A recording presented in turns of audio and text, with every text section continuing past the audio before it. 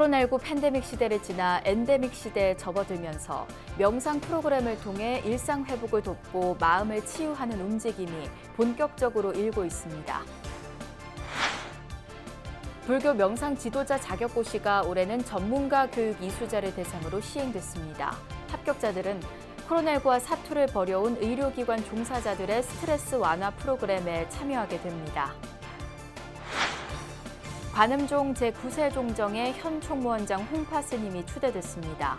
후임 총무원장에는 법명 스님이 지명됐습니다.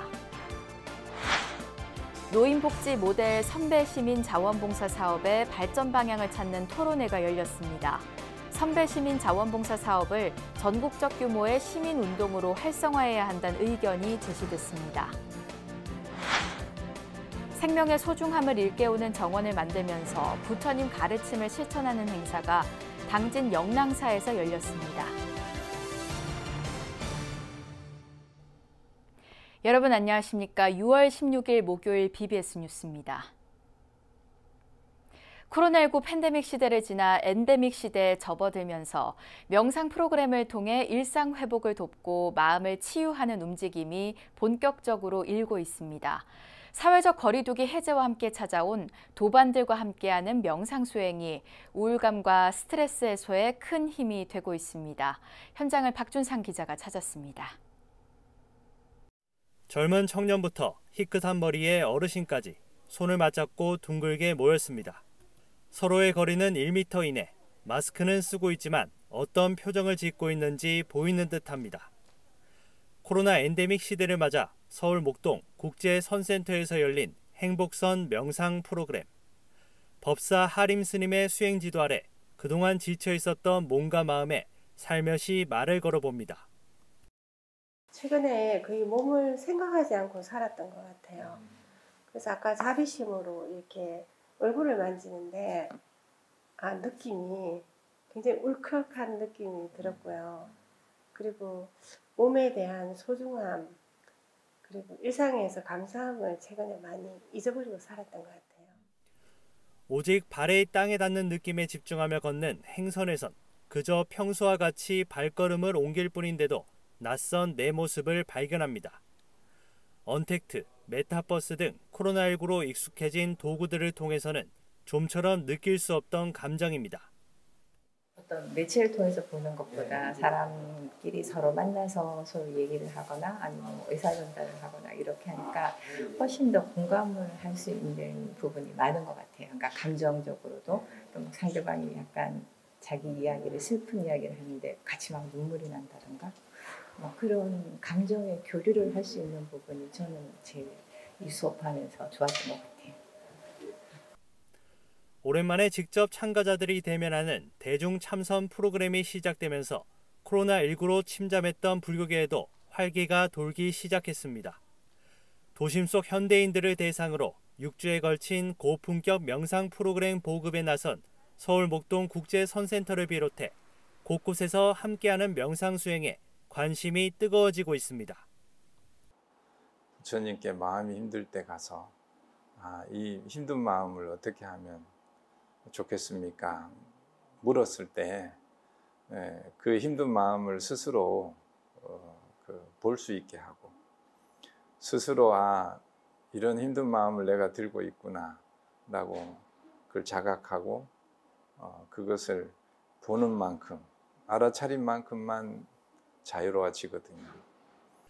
지난달 프랑스에서 개최된 Taste Korea 행사를 계기로 매주 이어지고 있는 파리 길상사 temple 체험 프로그램은 현지인들의 열광적 호응 속에 대기자가 500여 명에 이를 정도로 인기를 끌고 있고 불교 종립 동국대는 내일부터 하버드 의대와 협업하는 서울국제 명상 엑스포를 개최해 코로나19 이후 최대 규모의 명상 행사를 이어가는 등 코로나 엔데믹 시대의 국내외에서 불교 명상 열풍이 거세게 일고 있습니다.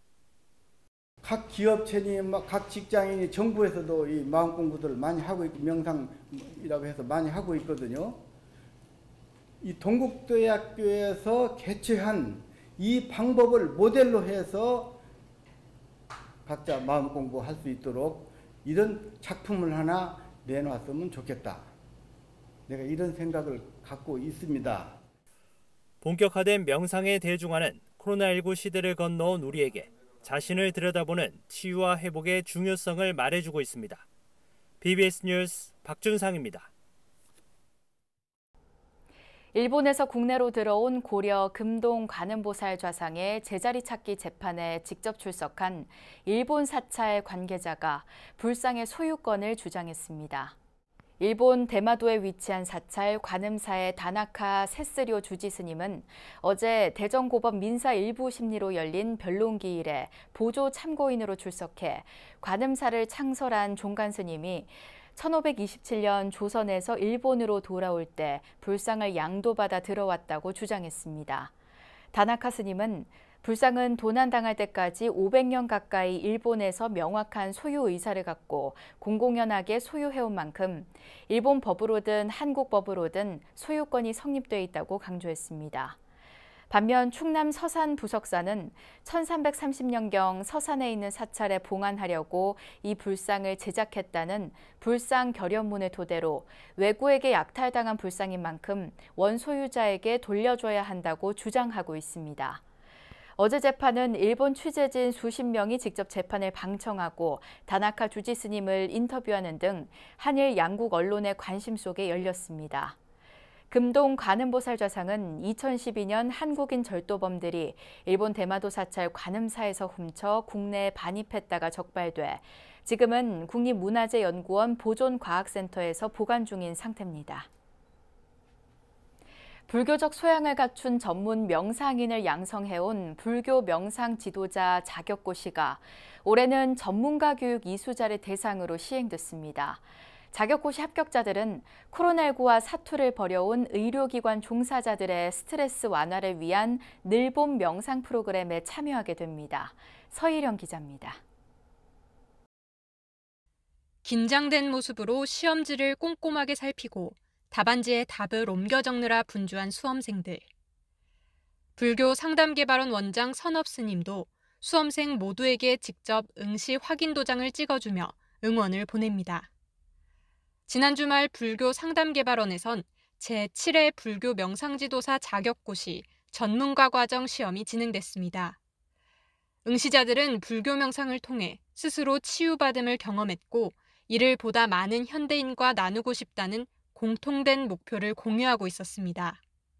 지금 어, 우리나라에서 현대인들이 그 청소년들이나 아니면 주부 직장인들이 많은 어, 바쁜 생활에 스트레스를 많이 겪더라고요. 어, 제가 이 공부를 하다 보니까 저한테 너무 많이 도움이 되었고 이렇게 좋은 어, 명상 공부를 어, 주변에 어, 직장인들이나 또는 주부들 또는 심지어 학생들에게 전하고 싶어서 이번 시험까지 단세 차례만 진행된 전문가 과정은 차례로 2급과 1급 불교 명상지도자 자격고시를 통과한 후 추가로 전문가 과정 수업까지 수강해야만 도전할 수 있습니다.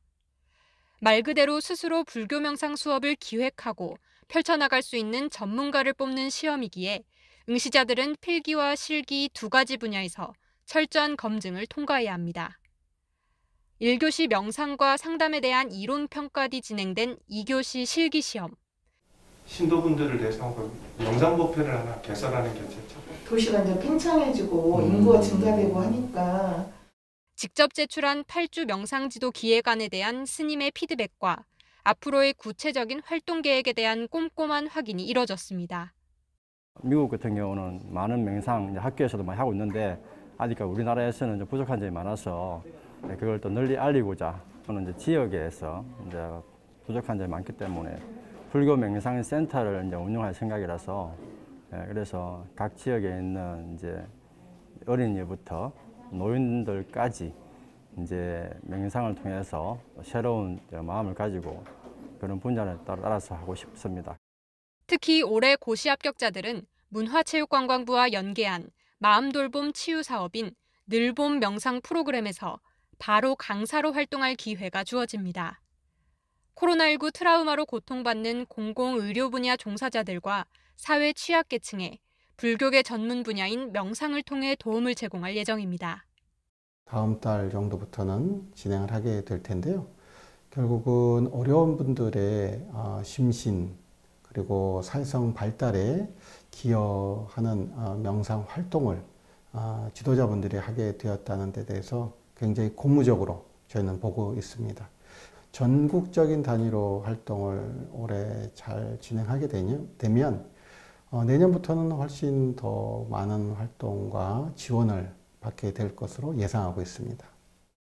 불교 상담 개발원은 8월 20일 2급 과정 수료자들을 대상으로 제8회 불교 명상 지도자 자격고시도 시행할 예정입니다. 최근 위드 코로나 정책 변화에 발맞춰 대면 명상 수업에 참가하려는 현대인들이 늘고 있는데요. 때문에 새로 탄생할 명상 전문가들이 그려나갈 명상 분야의 미래에 대한 기대감도 커지고 있습니다. BBS 뉴스 서희령입니다. 6일 지방선거에서 지역민들의 선택을 받은 김동연 경기도지사 당선인과 홍준표 대구시장 당선인이 나란히 조계종 종정, 중봉 성파 대종사를 예방했습니다. 김동연 경기도지사 당선인은 영축총림 양산통도사에서 성파대종사를 예방하고 환담을 나눴습니다. 이 자리에서 중봉 성파대종사는 김동연 당선인에게 옷으로 물들인 스카프 한 쌍을 선물했습니다. 홍준표 대구시장 당선인도 SNS를 통해 최근 종정예하를 예방한 사실을 소개했습니다. 홍준표 당선인은 종정 예하와 찍은 사진을 공개하면서 속가 큰형님처럼 늘 편하게 대해줘서 마음 편하게 모시고 있다는 소감을 밝혔습니다. 6일 지방선거의 대표적 불자 당선자인 오영훈 제주도지사 당선인이 어제 한국불교 역사문화 기념관을 찾아 조계종 총무원장 원행 스님을 예방했습니다. 이 자리에서 원행 스님은 제주에서 일어난 최초의 무장봉기 무오년 법정사 항일운동이 역사적으로 묻히지 않도록 노력해달라고 당부했습니다. 이어 원행 스님은 보석과도 같은 제주도는 불교가 강한 곳이라며 앞으로 제주도를 잘 이끌어가길 바란다고 격려했습니다. 이에 대해 오영훈 제주도지사는 법정사 입구에 항쟁 기념탑을 세우고 관련 복원 사업을 추진해 보겠다고 화답했습니다. 이 자리에는 조계종 총무부장 3회 스님과 기획실장 법원 스님, 문화부장 성공 스님 등이 배석했습니다. 관음종 제9세 종정의 현 총무원장 홍파 스님이 추대됐습니다. 대한불교 관음종 종정추대위원회는 지난 7일 종정추대위원회를 열고 현 총무원장 홍파 스님을 관음종 제9세 종정으로 추대했다고 밝혔습니다. 관음종 종정은 지난 2010년 제8세 종정 남천 죽산 스님의 원적 이후 공석 상태였습니다.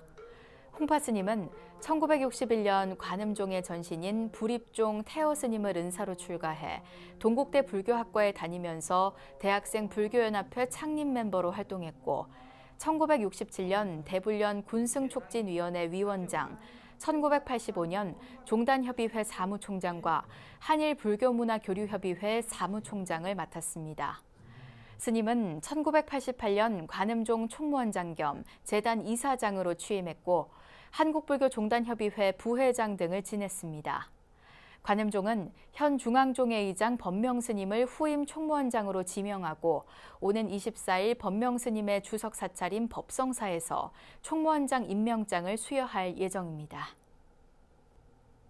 공공 영역의 노인복지 모델로 주목받는 선배 시민 자원봉사 사업의 발전 방향을 찾는 토론회가 열렸습니다. 선배 시민 자원봉사 사업을 전국적 규모의 시민운동으로 활성화해 노인 중심의 고령 친화 도시를 만들어 가야 한다는 의견이 제시됐습니다.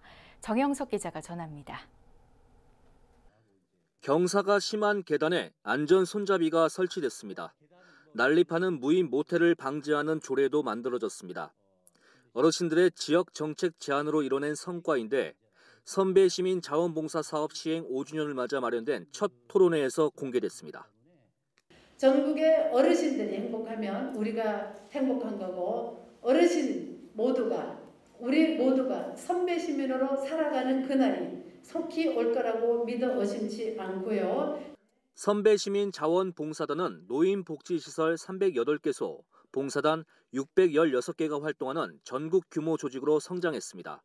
이들의 제안은 노인 복지 현장에 광범위하게 수용됐고 지역 공동체 활성화의 원동력이 됐다고 전문가들은 진단했습니다. 노인이면 다 누구나 시민이잖아요. 우리는 다 시민이고 우리는 그렇게 어떤 어, 자원봉사의 동기로서도 참여할 수 있다. 그런 부분들을 어, 좀 강조하면서 이 전국적인 확산을 이끌어내고 토론회에선 봉사단의 양적 성장을 바탕으로 지자체 중심의 선배 시민 운동망을 조직해야 한다는 의견이 나왔습니다. 어르신들의 삶에 대한 지혜와 경험들이 지역 사회 발전을 위해 쓰여져야 한다는 것입니다.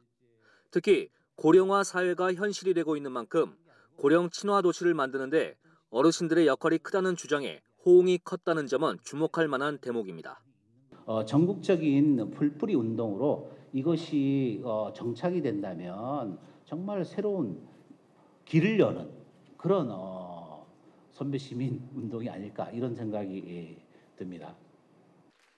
행사를 주관한 종로노인 종합복지관은 이번 토론회에 큰 관심을 보이면서 신노인 문화 확산 등에 앞장설 것을 다짐했습니다. 지금은 선배 시민이라는 이름으로 자원봉사를 하고 있는데요. 어, 예를 들어서 도시농부 봉사단, 특히 어, 옥상에 있는 텃밭 가꾸기라든지 그리고 또 예술 봉사단이라고 해서 또 어, 뭐 음악이라든가 뭐 난타라든가 이런 것들을 주위에 소외된 곳에 가서 또 이렇게 봉사 활동을 하고 단순한 복지 서비스 제공을 뛰어넘어 어르신들의 또 다른 삶의 공간이 되고 있는 종로노인 종합복지관의 활동에 기대가 모아지고 있습니다. BBS 뉴스 정영석입니다. 불기 2566년도 불자대상 수상자인 박대섭 국군 예비역 불자연합회 회장이 불자대상 상금 전액을 군불교 발전을 위해 쾌척했습니다. 박대섭 회장은 어제 한국불교 역사문화기념관에서 조계종 총무원장 원행스님에게 계룡대 영예법당 홍제사 건립기금으로 천만 원을 전달했습니다. 원행스님은 국군 예비역 불자 연합회를 이끌어가느라 힘든 상황에서 상금 전액을 군불교 발전을 위해 희사했다며 고마움을 전했습니다. 기금 전달식에는 조계종 총무부장 3회 스님과 재무부장이자 남산 충정사 주지인 타나 스님, 조계종 불교사회 연구소장 원철 스님 등이 자리를 함께했습니다. 통도사 마산포교당 정법사 신도들이 수행을 통해 마련한 기금으로 종단 차원에서 진행되고 있는 우크라이나 난민 돕기에 동참했습니다. 정법사 주지 광우 스님은 어제 한국불교 역사문화 기념관에서 조계종 총무원장 원행 스님에게 우크라이나 난민 구호 기금 천만 원을 전달했습니다. 광우 스님은 신도들이 기도하는 마음으로 평화를 기원하면서 사경을 통해 기금을 모았다며 우크라이나 전쟁 종식을 염원했습니다. 이 자리에서 원행 스님은 기금 동참을 위해 먼 곳에서 방문해줘 고맙다며 모인 성금을 어떻게 전달할지 논의 중이라고 밝혔습니다. 용성조사 대원 명법사 실천회가 근대 한국불교의 대표적 선지식이자 독립운동가인 용성 스님의 가르침을 독후감 공모로 후학들에게 알리며 지구촌 자비 나눔에도 동참했습니다. 용성조사 대원 명법사 실천회는 어제 한국불교 역사문화기념관 공연장에서 조계종 명예원로 도문스님 등이 참석한 가운데 용성 진종조사 탄신 158주년 기념 용성평전 독후감 공모전 시상식을 개최했습니다.